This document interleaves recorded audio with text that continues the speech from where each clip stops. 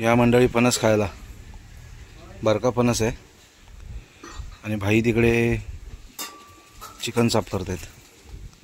आताचा फणस प- फणसावरून पडला आहे दोन तीन फणस पडले. बरेच फणस लागले त्यावर्षी या फणस खायला. यावर्षीचा नवा करूया.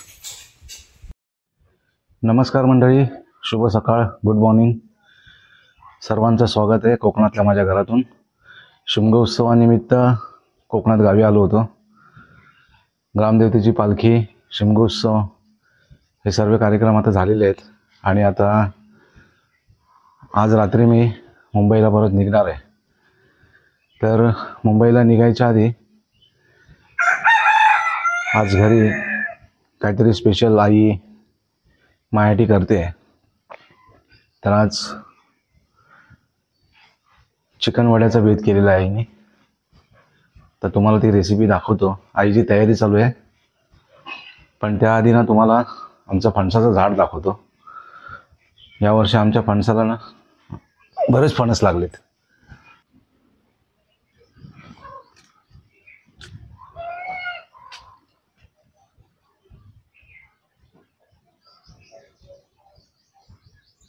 आमच्या घराला लागूनच असणार आहे फणसाचं झाड. खूप जुनं झाड आहे.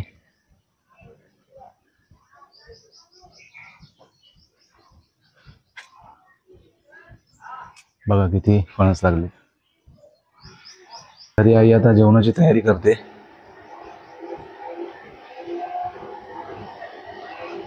चला आता आपण घरी जाऊया. आईची काय तयारी चालली आपण बघूया. चिकन कापून झालंय. आता आई रेसिपीला सुरुवात करेन. वडे बनवतेस का कोंबडी वड्याची रेसिपी बनवायला आईने सुरुवात केली. चिकन कापून घेतले. आमच्या आईचं हाईट पुरत नाही. आधी पाट घेतलं ना पोट घेतलं. तेलामध्ये कढीपत्ता, लसूण, फोडणी दिली, मसाला टाकते.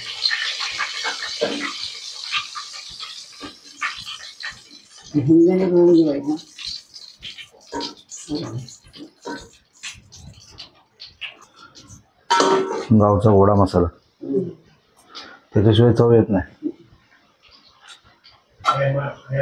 सगळं चिकनला सगळं लावून घेतलं. आणि ते आता गोडा मसाला लावलेला आहे सगळं. चिकन तिने आतमध्ये घातलेलं तुपामध्ये. वरून थोडंसं पाणी टाकेल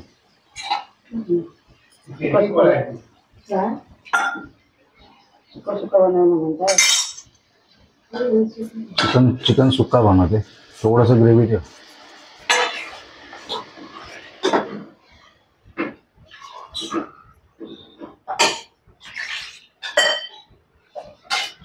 मदतीला माणसं आले बघा. आणि हे रस्त्यासाठी गेले का? हाडकं काढलीत. कोंबडी घरीच कापले.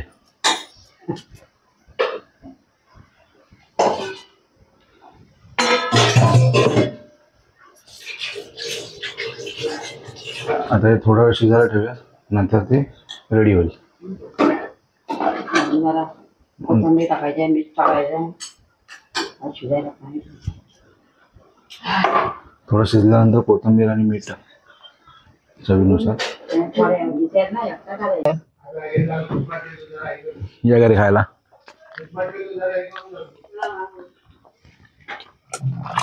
तरी पण ते दरवाजे बंद. घरी खायचे नाही अशा आटल्या जमा करून ठेवायच्या. याचे साठ मस्त होतात. नसतो आता. आता असायला पाहिजे तो तू तयार करू शकतो. बनवलेत आईने. हं? मे मध्ये करूया. हाय फणस भरपूर आहे ते सुकायला तेवढा वेळ भेटला आणि ती आईची रेसिपी चालली आहे आणि गप्पा गोष्टी पण सुरू आहेत.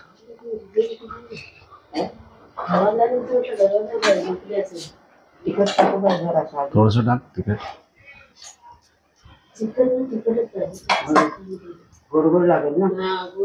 गावठी चिकन आहे ना. बस झालं झाकण देऊ दे. कोथिंबीर कापेपर्यंत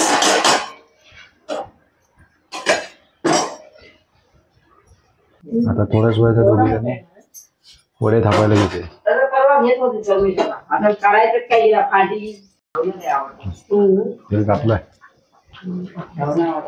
पीठ पण व्यवस्थित व्हायला पाहिजे तर ते होतात व्यवस्थित ना. त्याचं मिश्रण व्यवस्थित व्हायला पाहिजे. हा. कांदा आपल्या इथे. तर ते फुगायला येत असते. तरी फुगला हम्म. बघू. छान झालं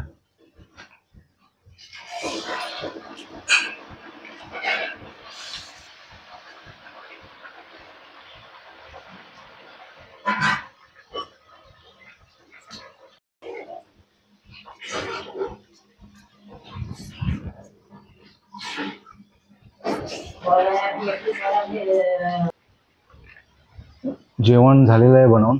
तर आता जेवायला बसायचं आहे पण जरा केशवभाईंना जरा जेवायला बोलवतो. गेलेत घरी. तर चला त्यांना जरा घेऊन येतो.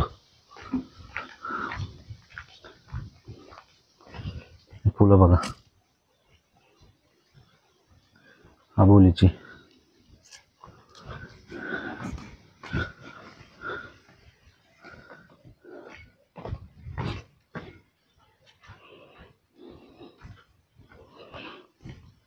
बोगनवेला जी लॉकडाऊनमध्ये लावली होती मी. आणि ही पपया.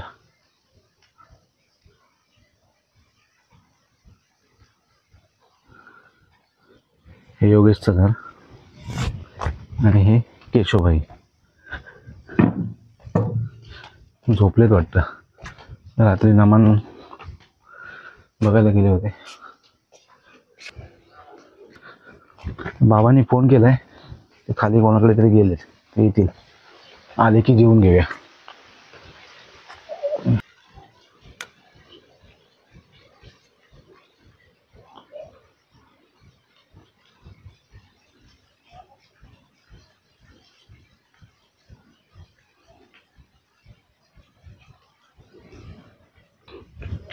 हे बघा आले. चला जेवून घेऊया.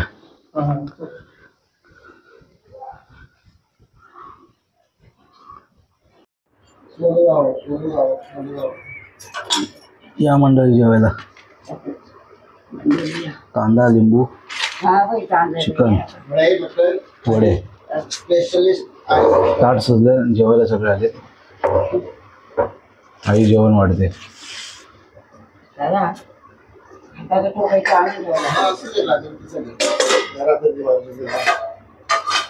एकदम थोडा जास्त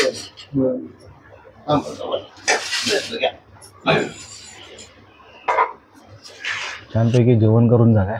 मस्तपैकी चिकन वडे होते. जेवलो आहे मस्तपैकी. आणि आज रात्री परत मुंबईला निघालो आहे मी. पण त्याआधी मुंबईला जायच्या आधी ना जरा गावच्या मंदिरामध्ये जायचं आहे देवाचं दर्शन घ्यायला. आणि गावचं मंदिरसुद्धा तुम्हाला दाखवेन. डिंगणी गावचं मंदिर जे आहे ते यावर गेल्या वर्षापासून नवीन बांध बांधायला घेतलं आहे तर ते मंदिरसुद्धा मी तुम्हाला दाखवेन. तर संध्याकाळी मी आणि केशवभाई दोघे जण आम्ही जरा आता ऊन बघा किती आहे. तर थोड्या वेळाने आम्ही जाऊ. देवाचं दर्शन घेऊ नंतर रात्री मग मुंबईला निघण्यासाठी प्रवास करू रात्री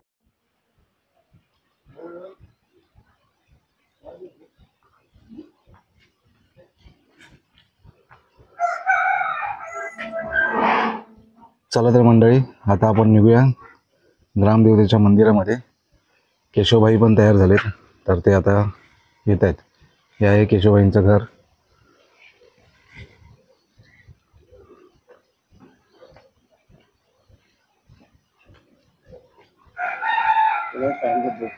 चला निघूया.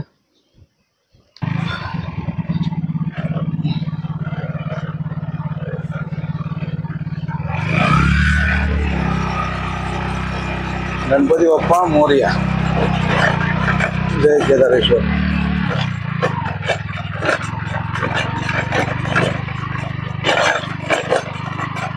गावातला रस्ता. मांदेवाडी ते गुरुवाडी.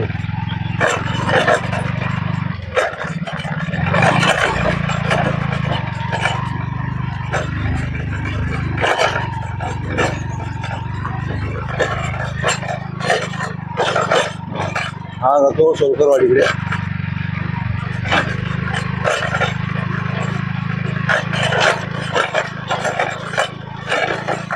माझी आपली जमीन आहे ना धनगर पाटील.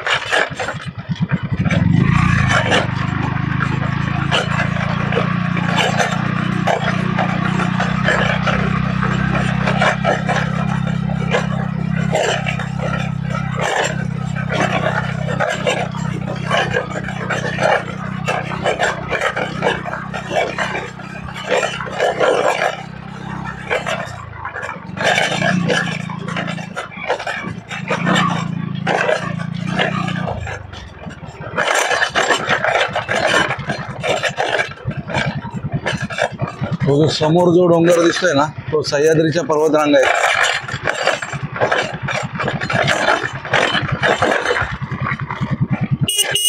नमस्कार.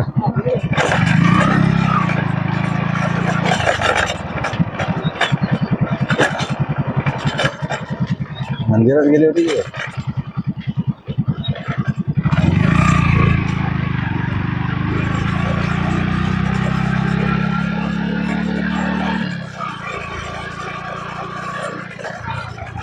हा रस्ता चाळकेवाडीमध्ये जातो.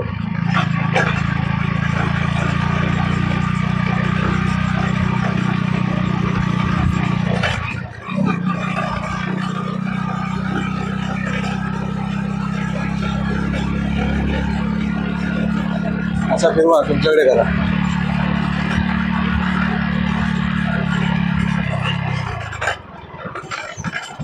आणि हा रस्ता जातो गुरववाडीकडे जिथे आपलं ग्रामदेवतेचं मंदिर आहे तर त्या मंदिराकडे आपण चालूया. देवाचं दर्शन घ्यायचं. मंदिर सुद्धा पाहायचं आपल्याला.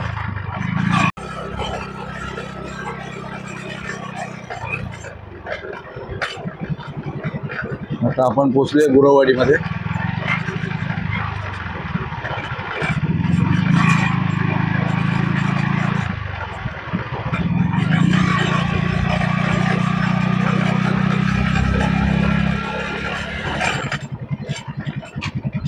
हा रस्ता जातो मंदिराकडे. स्मारक आहे ना?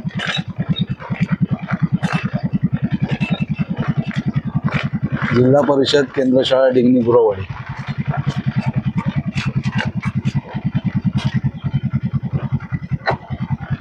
तालुका संगमेश्वर जिल्हा रत्नागिरी.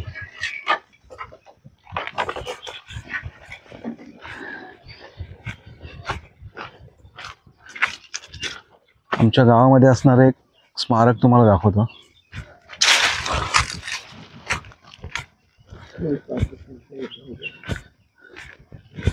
चीन आणि?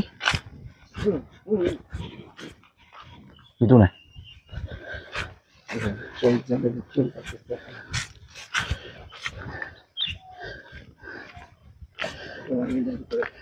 काही तुकाराम झिमाजी करंडे. यांचं इथे स्मारक आहे. पाकिस्तान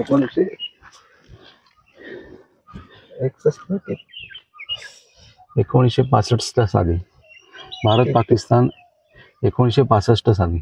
झालेल्या युद्धात. धारातीर्थी पडून हो. जन्म एकोणीसशे बेचाळीस. आणि मृत्यू बावीस नऊ एकोणीसशे पासष्ट. शूर सैनिक तुकाराम जिमाजी करंडे यांचे हे स्मारक आहे. आपल्या डिंगणी गावासाठी हे अभिमानाची गोष्ट आहे की आपल्या डिंगणी गावातले एक शूर शिपाई आपल्या देशासाठी शहीद झालेत.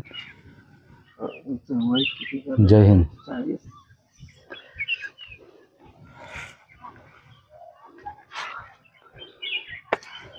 जिल्हा परिषद केंद्र शाळा डिंगणी गुरवाडी.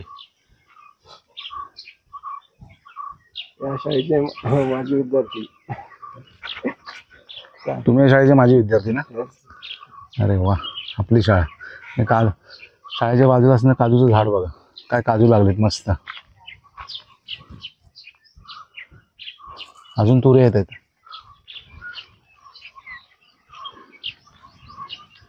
जाम भारी.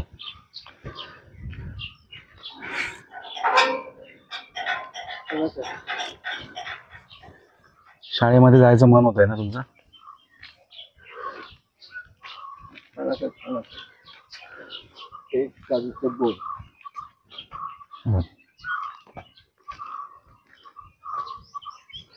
एक काजूचं पडलेले बोंड भेटले. असं कोण कोणाचे आता काजू तोडत नाहीत किंवा चोरून घेत नाहीत. पडलेले असेल तरच घेतात. हे बघा.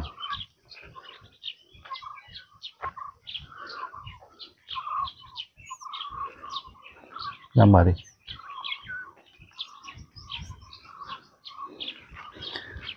तर आता आपण जाऊया मंदिराकडे चला तर आता तुम्हाला आपलं गावचं मंदिर दाखवतो छान असं मंदिराचं काम झालं आज काय कार्यक्रम होता मंदिरामध्ये रूपं काढून आता मला वाटतं माळ पण तोडतात ना मग ठेवत नाहीत माळ आणि मग जेवण असतं.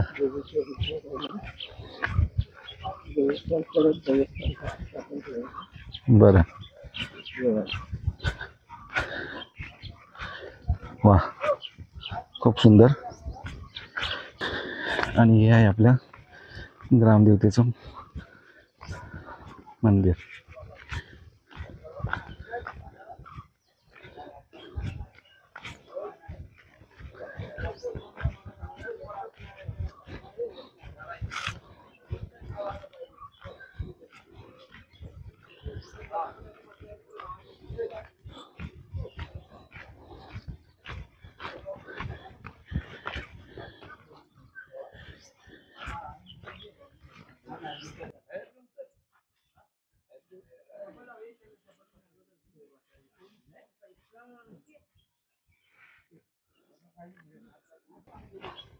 हो? हो. प्रसादाचा कार्यक्रम आहे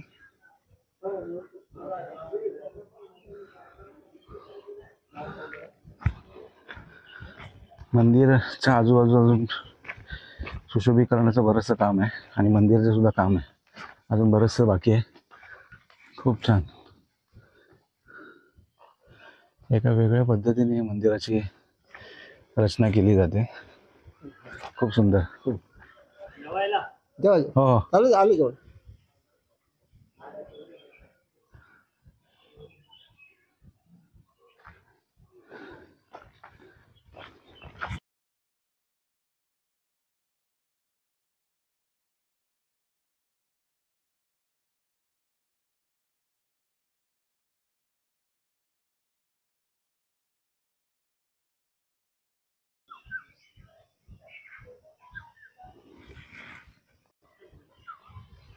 हे मंदिर आणि या मंदिराच्या या साईडला असणारी आपली देवाची स्थान आहे. इथे सुद्धा आता शिमगोत्सव संपल्यानंतर जेवणाचा कार्यक्रम असतो. संपूर्ण गावाचा. भोजन ते चालू आहे. एक जेवणाचा कार्यक्रम असतो. ते इथे कार्यक्रम सुरू आहे. आणि काल इथे नमनाचा कार्यक्रम झाला. रात्री आम्ही आलो होतो. इथून पाहू शकता मंदिर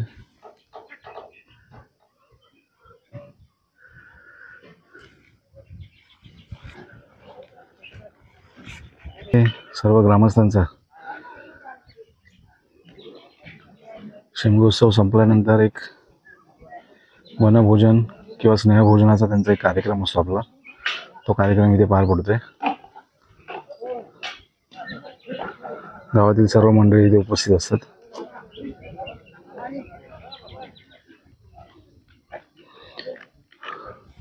माड तोडून झालाय बघा.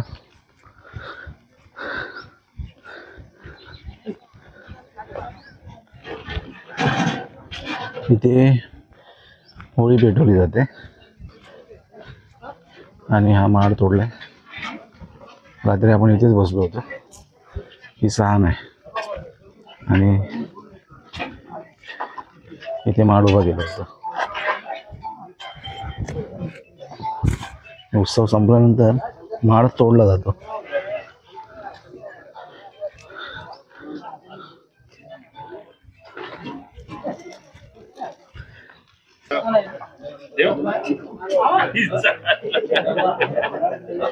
स्नेहभोजनाचा कार्यक्रम इथे सुरू आहे.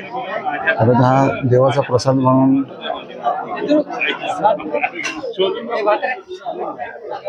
सगळ्यांना इथे जेवण वाढलं जातं. हे देवाचं जेवण असतं.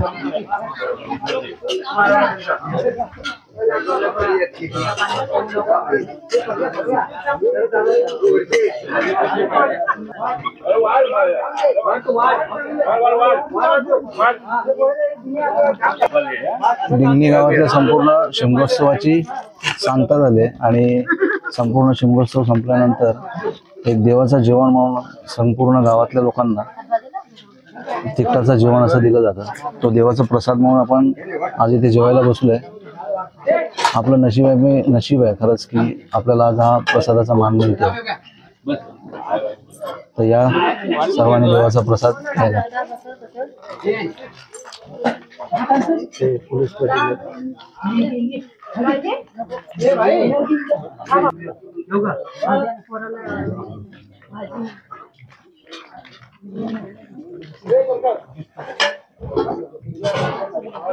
पाणी नाही आहे काय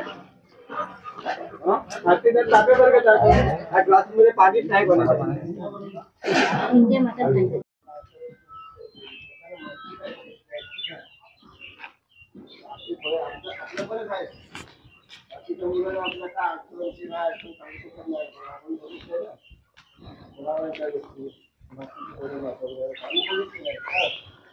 खूप प्रा- प्राचीन अशा देवाच्या मूर्त्या आहेत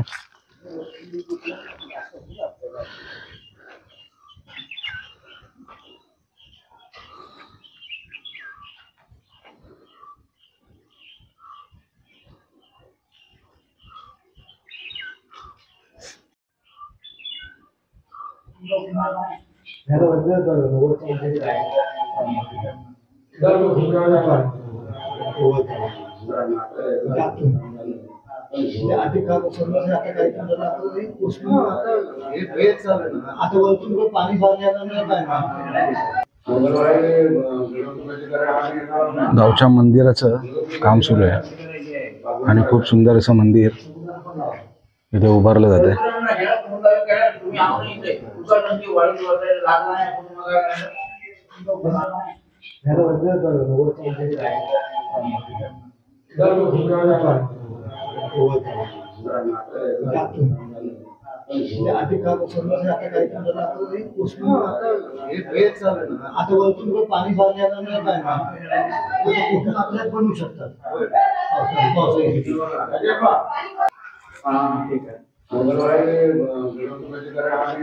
गावच्या मंदिराचं काम सुरू आहे. आणि खूप सुंदर असं मंदिर इथे उभारलं जाते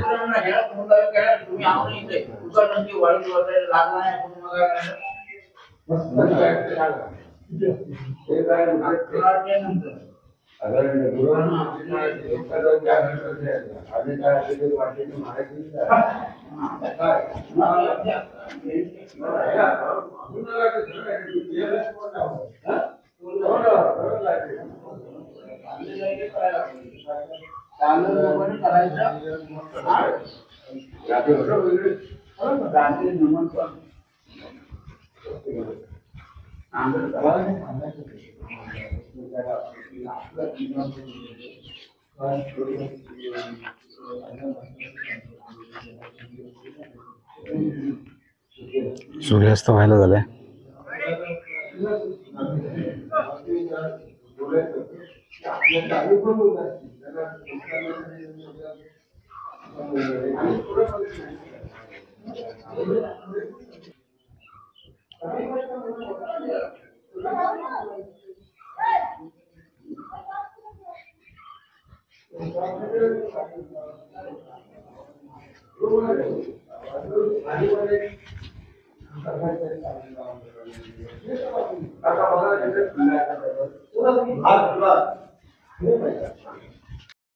आणि आता आम्ही निघालोय. छान दर्शन झालं. आणि इथे आम्ही आलो होतो.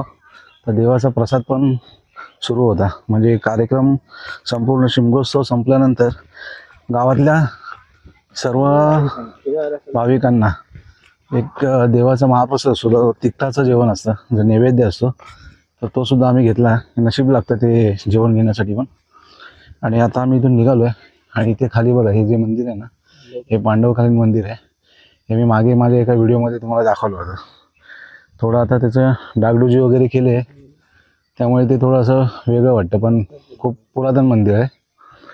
आपण मे महिन्यामध्ये येणार आहे ना तर एकदा परत आपण इथे नक्की भेट देऊ. थोड्या वेगळ्या पद्धतीने आपण दाखवण्याचा प्रयत्न करणार आहे ते. तर फायनली आता आपण घरी निघालो आहे आज मुंबईला प्रवास करतो आहे तर आजचा हा व्हिडिओ मी इथेच थांबवतो आहे तर आजचा हा व्हिडिओ आपल्याला कसा वाटला? आपण कमेंट करून नक्की सांगा. व्हिडिओला लाईक करा शेअर करा. आणि जर माझ्या यूट्यूब चॅनलवरती जर आपण नवीन असाल ना तर माझ्या चॅनलला एकदा सबस्क्राईब करा. तर हा व्हिडिओ इथेच थांबवतो. बाय